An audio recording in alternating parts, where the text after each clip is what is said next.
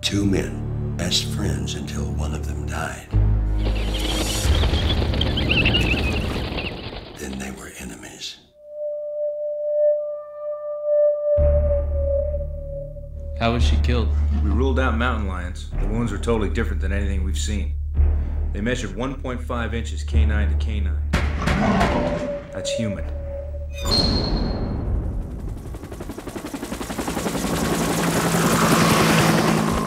Said this guy's some kind of a demon. Hey, give us a look, Mr. Demon. He bit me.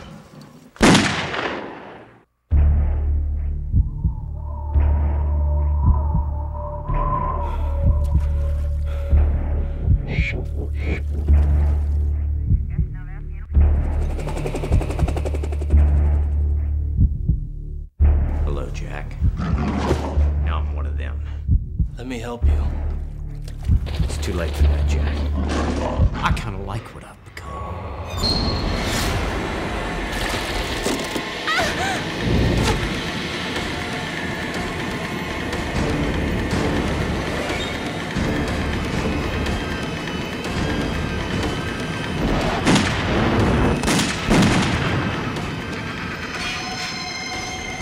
I thought we'd finish this up by your family.